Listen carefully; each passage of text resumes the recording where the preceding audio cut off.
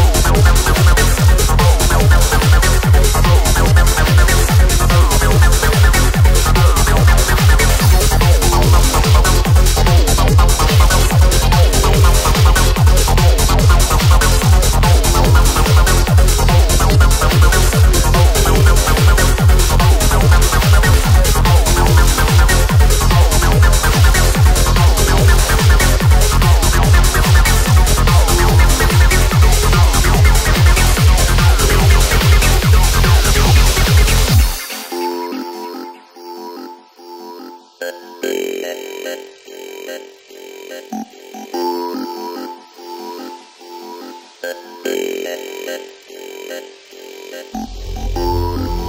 open your mouth and let's have a look at that brain. No, no, no, no, no, not that mouth. I only have one. Uh, is there a human doctor around? Young lady, I'm an expert on humans. Now pick 'em out, open it and say,